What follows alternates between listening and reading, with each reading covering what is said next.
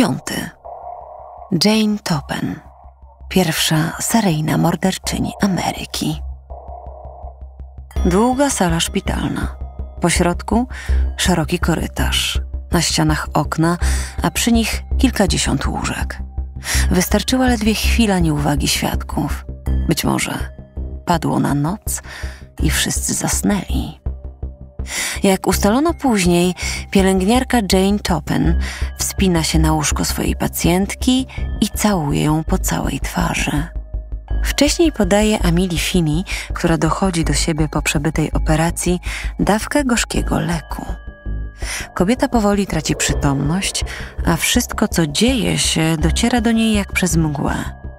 Pielęgniarka przestaje ją całować i pieścić dopiero wtedy, gdy coś się przestraszy. Następnego ranka Emilia dochodzi do wniosku, że to był tylko sen. Dopiero gdy 14 lat później Jane zostaje aresztowana, była pacjentka uświadamia sobie, że wcale nie śniła i zdaje sobie sprawę, jak wielkie miała szczęście, że w ogóle uszła z życiem. Słuchasz historii pielęgniarki Jane Topen. Uważa się ją za pierwszą seryjną morderczynię w Stanach Zjednoczonych. Zatrudniający kobietę lekarze chwalą sobie jej profesjonalizm. Jednak Jane Topen fascynują przede wszystkim trupy i trucizny. Oczywiście, żaden z pracodawców nie podejrzewa jej o mroczne upodobania. Podobną tajemnicą pozostaje okryte jej dzieciństwo. Nikt nie zna historii tragicznej śmierci matki Jane, gdy ta była małą dziewczynką. Nikt nie wie o późniejszym szaleństwie ojca, ani o próbach samobójczych Topen. Żadna z tych tragedii nie usprawiedliwia również jej czynów. W latach 1880-1901 Jane Topen została oskarżona o popełnienie co najmniej 31 morderstw. Faktyczna liczba ofiar mogła jednak przekroczyć setkę. Dopiero gdy członkowie pewnej rodziny z małego miasteczka w amerykańskim stanie Massachusetts zaczynają padać jak muchy, prawda wychodzi na jaw. Kryminały medyczne. Mordercy w bieli. Podcast o przestępstwach medycznych. Nazywam się Agnieszka Wiedłocha.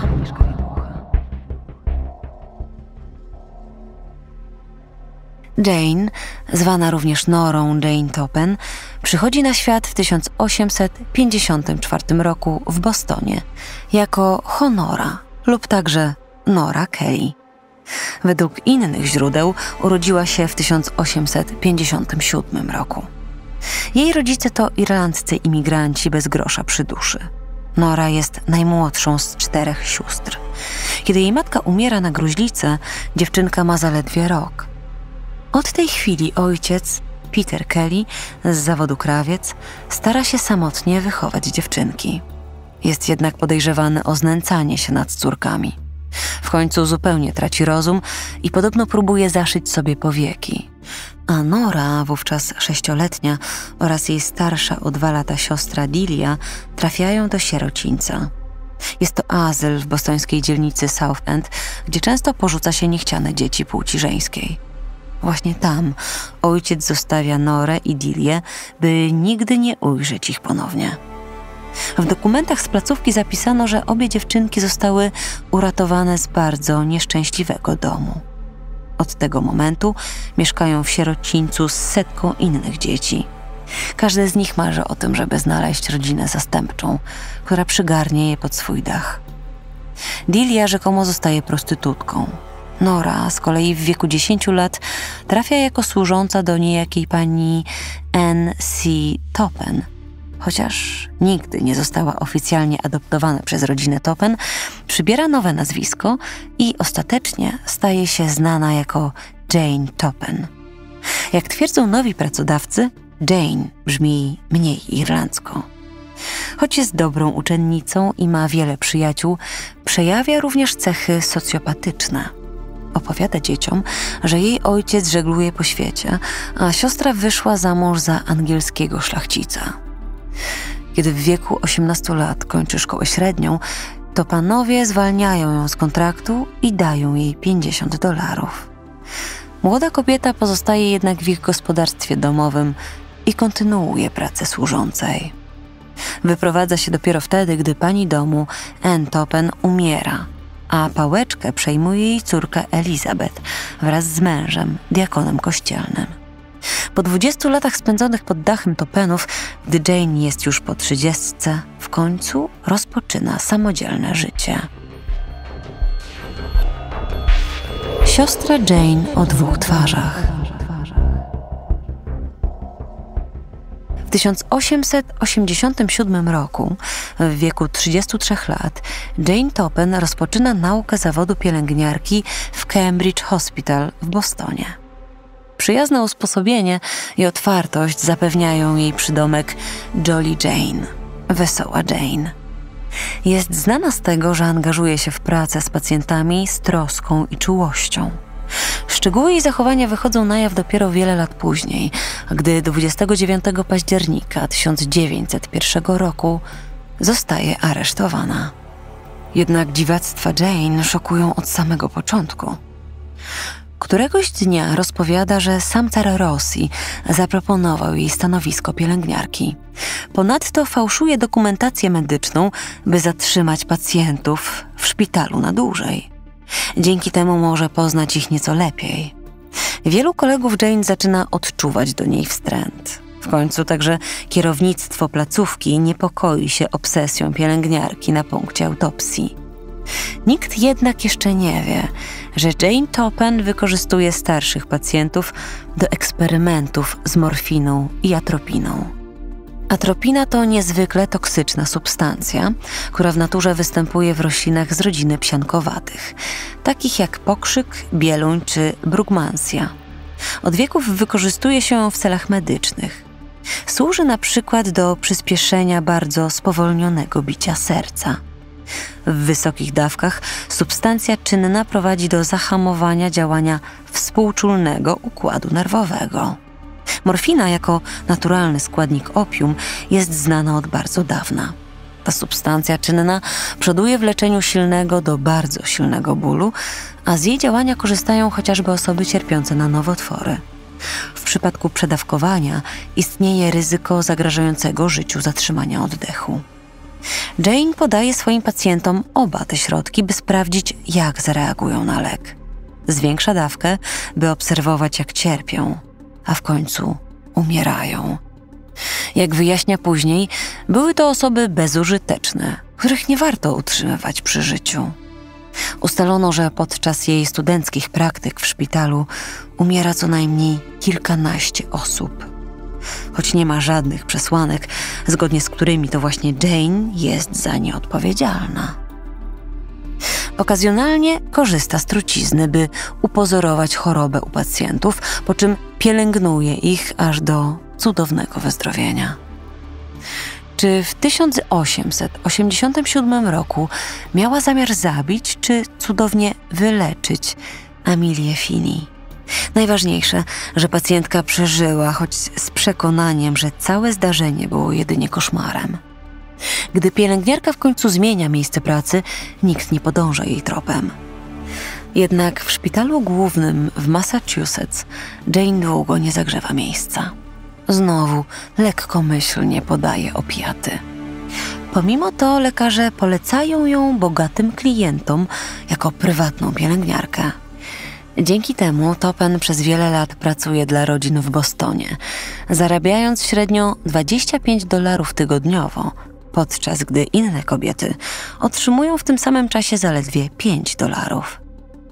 Ma więc dobrze płatną posadę i może zabijać dalej, bez obawy o zdemaskowanie. Po skończonej pracy Jane pije piwo, opowiada sprośne dowcipy, plotkuje jak stara dewotka i z upodobaniem podburza jednych przyjaciół przeciwko drugim. W dalszym ciągu jawi się jednak pacjentom jako wysoko wykwalifikowana profesjonalistka. Zawsze empatyczna, zawsze pogodna. Jej ofiarą padają jednak osoby z najbliższego otoczenia lekarze, inne pielęgniarki, a nawet przyjaciele. Kobieta spisuje towarzystwo na straty w momencie, w którym to zaczyna ją męczyć, tak jak właściciele najmowanego przez nią mieszkania. Na początku Jane zaprzyjaźnia się ze swoim starszym gospodarzem, Izraelem Dunhamem i jego żoną. Mimo to więź nie powstrzymuje jej przed zabiciem ich. Byli słabi i pedantyczni, starzy i kapryśni, jak wyjaśnia później. Swoim kolegom ze szkoły pielęgniarskiej mówi, że nie ma sensu utrzymywać przy życiu starych ludzi. W 1889 roku ofiarą jej wcielanych w życie idei pada również 70-letnia Mary McLear. Chora kobieta postanawia odwiedzić swojego lekarza w Cambridge, a ten zaleca jej skorzystanie z opieki Jane Toppen. Mówi, że jest jedną z jego najlepszych pielęgniarek.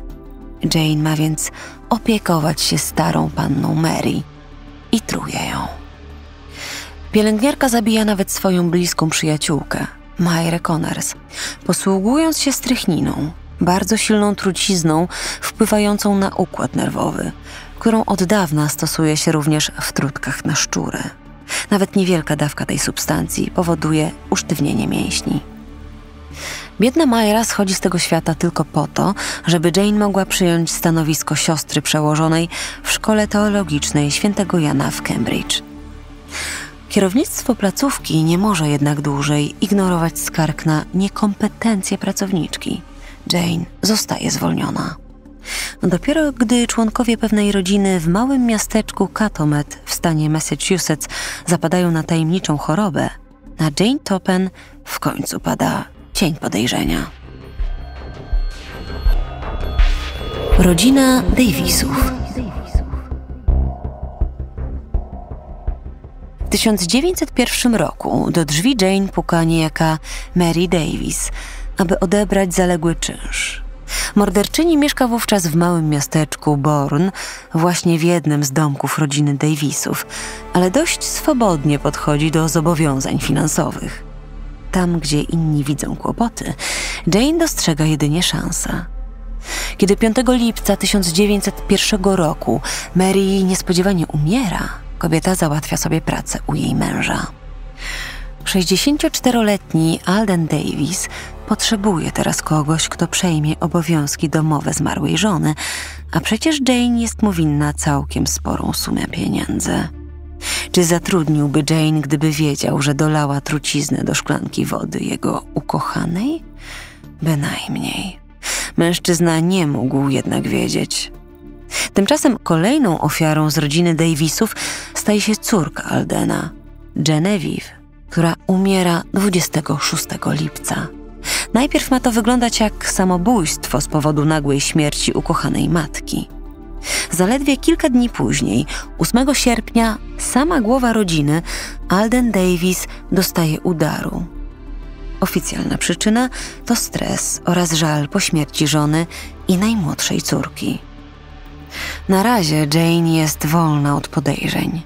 Jednak w nocy 12 sierpnia lub rankiem 13 w niewytłumaczalny sposób umiera również pozostała przy życiu córka rodziny, Minnie Gibbs. Czy Jane pragnęła w ten sposób ocalić się od długów? Przecież miała uregulować należność w wysokości 500 dolarów. Dziś to równowartość 15 tysięcy dolarów. A teraz nie żyje już nikt, kto mógłby zażądać od pielęgniarki zwrotu pieniędzy. Kiedy cała rodzina umiera w ciągu zaledwie sześciu tygodni, mąż Mini Gibbs żąda przeprowadzenia sekcji zwłok. Topen robi wszystko, by temu zapobiec, ale policja podejrzewa najgorsze. Sekcja zwłok potwierdza, że zgony nie nastąpiły z przyczyn naturalnych. Mini została otruta dużą dawką morfiny i atropiny. 29 października 1901 roku Jane Topen zostaje aresztowana. Dopiero później wychodzi na jaw, że pielęgniarka zabiła również członków własnej rodziny. Tej, która uratowała ją z sierocińca, gdy była małym dzieckiem. Zaplanowane małżeństwo. Elizabeth Toppen Brigham, przybrana siostra Jane, często zaprasza ją w gości także po wyprowadzce. Do domu, w którym Jane się wychowała i gdzie mieszkała przez 20 lat. Podobnie było również latem 1899 roku. Siostry postanawiają wyruszyć na wycieczkę do Buzzards Bay. To malowniczy odcinek wybrzeża na południe od Bostonu, w pobliżu Cape Cod. Kobiety biorą ze sobą kosz piknikowy, speklowaną wołowiną, tofi i wodą mineralną. Trzymałam ją w ramionach i nie mogłam powstrzymać zachwytu, gdy z trudem łapała oddech. Relacjonuje później Jane o śmierci Elizabeth. Kobieta umiera od śmiertelnej dawki strychniny. Plan Jane, a może raczej splot pomysłów, do których popycha ją szaleństwo, polega na tym, by po śmierci Elizabeth poślubić jej męża, Oramela Brigham. Ale zanim to nastąpi, czuła siostra musi sprzątnąć ze swojej drogi jeszcze kilka osób. Stopniowe, ale skuteczne wniknięcie w codzienność Brighamów wymaga od Jane zamordowania 77-letniej gospodyni, Edny Bannister.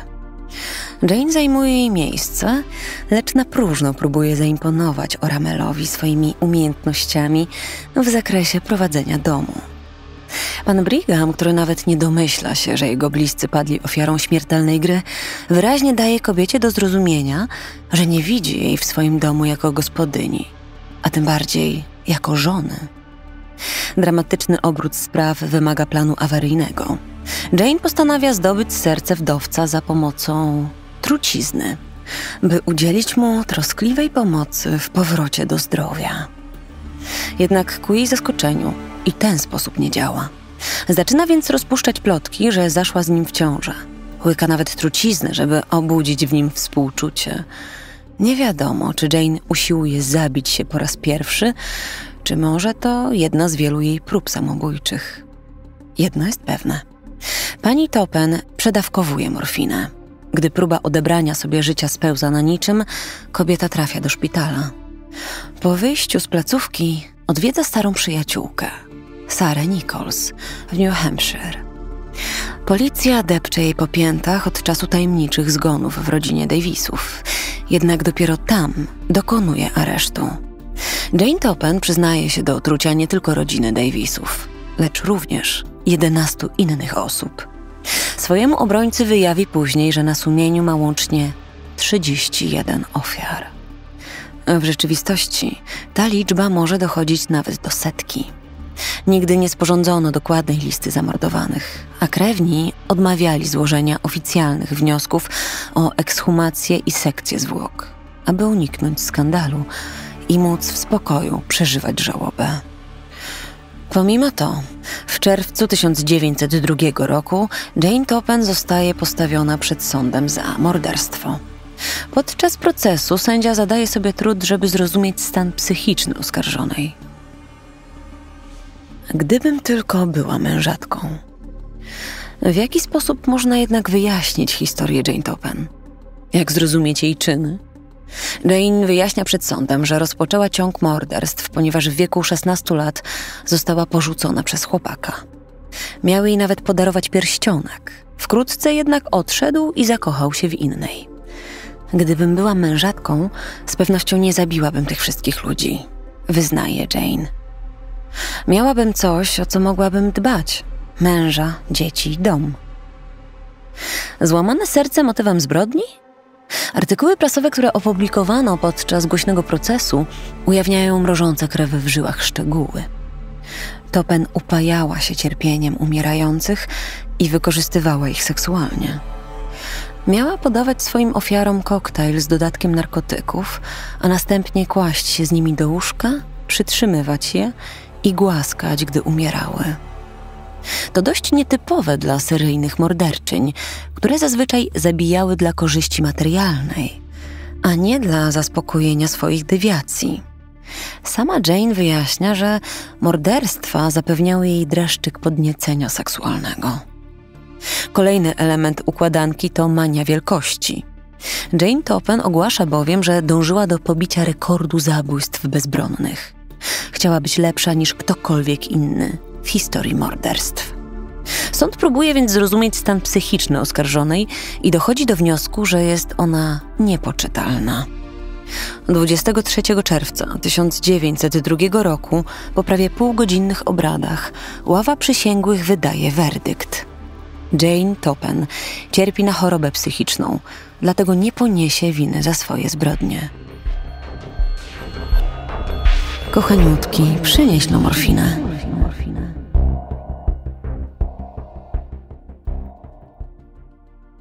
Po wydaniu wyroku Jane Topen zostaje umieszczona w zakładzie dla psychicznie chorych, gdzie dożywa swoich ostatnich dni. Na początku odmawia jedzenia, z obawy, że posiłki mogą być zatrute. Cóż za ironia losu, krzyczą gazety.